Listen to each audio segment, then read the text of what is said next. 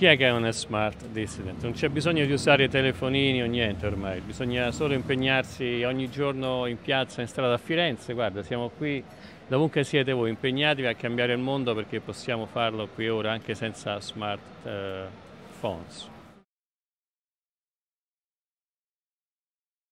Global Voice, noi lavoriamo molto in questo senso, lavoriamo molto in background, non abbiamo né smanie di visibilità o di diventare importanti o famosi.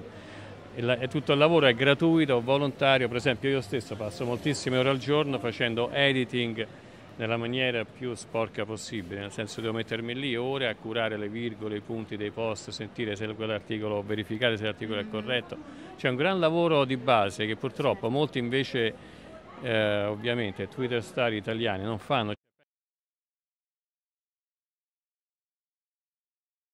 Tecnologia può aiutare però di nuovo, specialmente qui un sacco di gente la usa tantissimo a, a modo, in modo che non vale, non vale la pena, insomma, ecco, secondo me. Bisogna smettere con la tecnologia, usare molto più coraggio e amore e però stare Global insieme. Voices in parte... A noi Global Voice siamo molto invece una community, infatti non ci definiamo nient'altro che una community di 400-500 persone sparse nel mondo.